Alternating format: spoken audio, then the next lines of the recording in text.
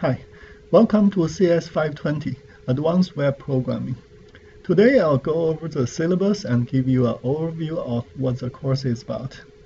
First of all, this is a class website. The URL of the website is csns.calstatela.edu slash site slash x15 slash cs520-1.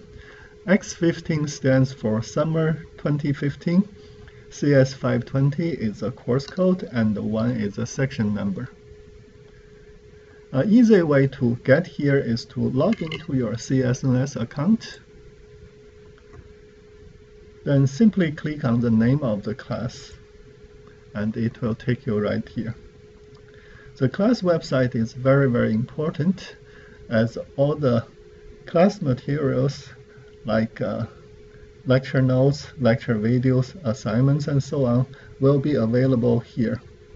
New course materials and assignments will be posted every Monday in the morning, so please check the class website at least once a week, preferably on Monday, uh, Monday afternoon.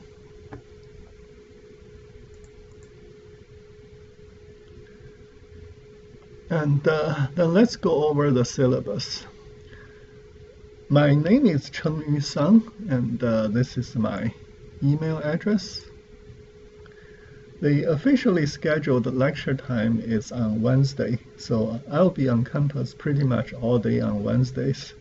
I also have office hours in my office on Monday and Friday from 2 to 4 p.m. And you can email me to set up additional time to meet if you cannot make to the office hours. We also have two TAs, Misha and Hash.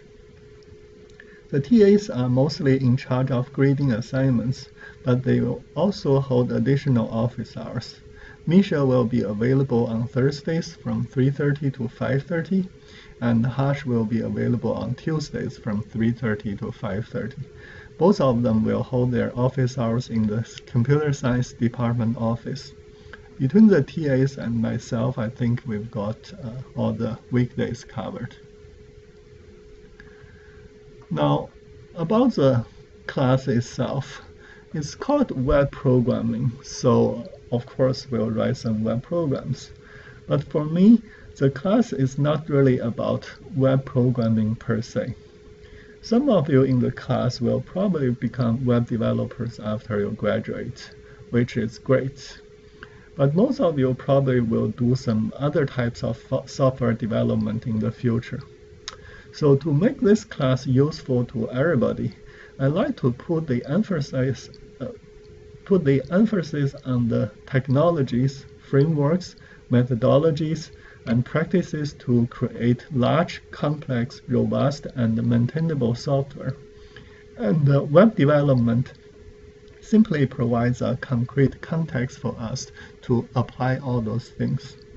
In other words, the goal of the class is not to learn web programming per se, but to learn how to develop good software in the right way using web development as an example.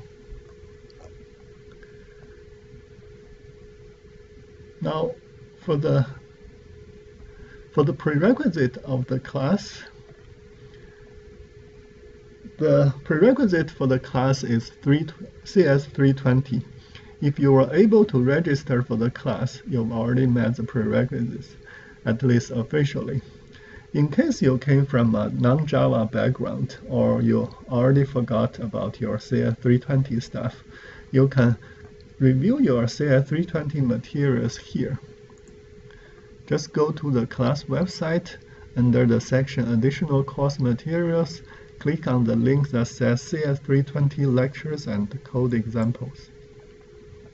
Here you will find all the CS320 lecture notes, video recordings, and uh, code examples and so on. So um, you can use this to review some CS320 stuff if you want. And uh, later on, we'll also do a brief review of some important points about uh, servlet and JSP programming.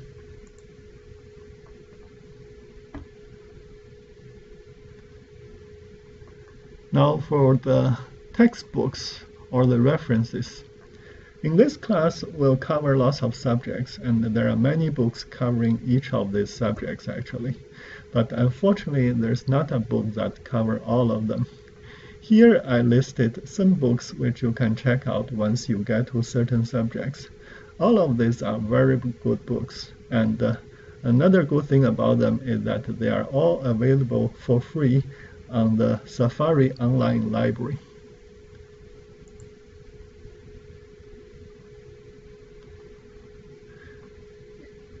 If you are a Cal State LA students, you can log into Safari online using your student account username and password.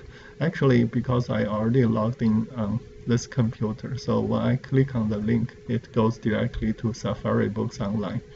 But uh, for you, when you click this link for the first time, it should take you to a Cal State LA library, library website where you can enter your um, campus username password. And once you log in, it will take you to the Safari Books Online website. And here you can search for the books that uh, you, you need. For example, we can search for Spring in Action. And uh, the book is right here.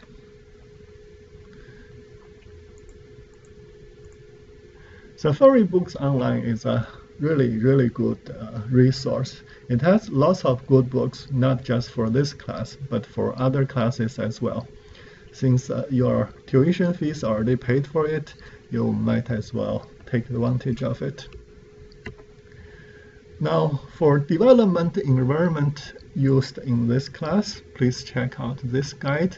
It tells you how to, uh, what software we need, how to install them, and uh, uh, configure them, and so on. So uh, this is for a, a, separate video, I guess. And uh, then here's how the grade will be calculated. The homework assignments will account for 45% of the total grade. Homework assignments will all be programming assignments. Basically, we'll break a large project down into five to six, five to six homework assignments. Each assignment will be built on top of the previous one, so in the end, you'll complete a fairly complex application. We'll also have some exercises and the exercise and the exercise questions are usually directly related to a particular lecture. And uh, these exercises are worth 5% of the total grade. And then there's the midterm and the final.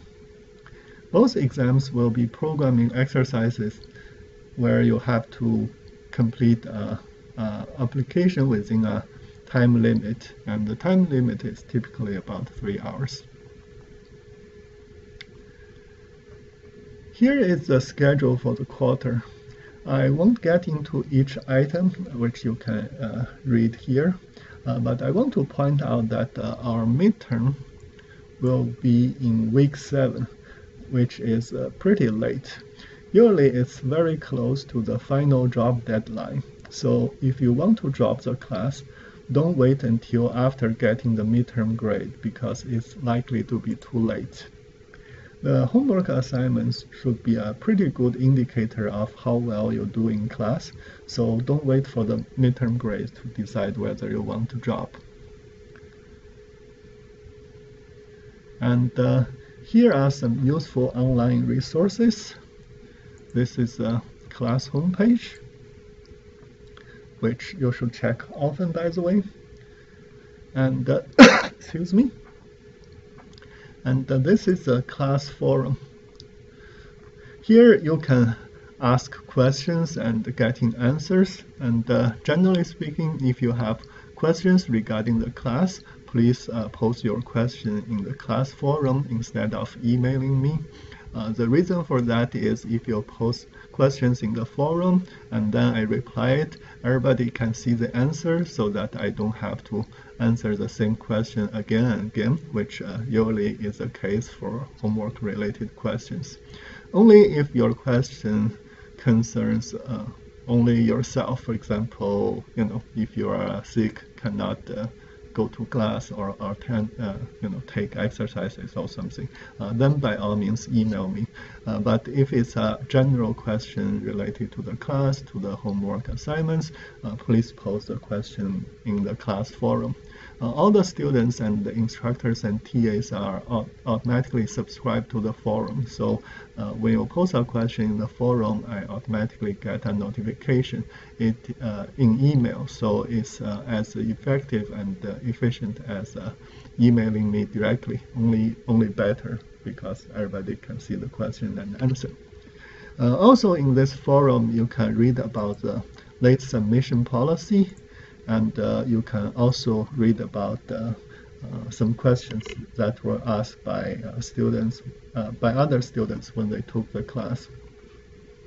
Uh, note that uh, also there's a search function in the forum, so you can search for specific things. For example, say uh, Tomcat startup problem, and you can check out some previous threads regarding those things. And uh, coming back, uh, this is a link to Safari Books Online. You can see uh, from the URL that uh, it actually takes uh, you to a library web website if you haven't logged in yet. And the uh, rest of this are various references and documentation, most of which you'll need to read at some point during the quarter. And last but not least, in this class, I take cheating very seriously. Every quarter, there were students who got F for cheating in the class. If you don't believe me, just ask around. So uh, do not cheat uh, because there will be serious consequences. Uh, but even more importantly, uh, don't cheat, learn something because this class is going to be very useful for your career. Okay, so this is the end of the overview of the class. Hope you enjoy the class and uh, we'll have a great summer together.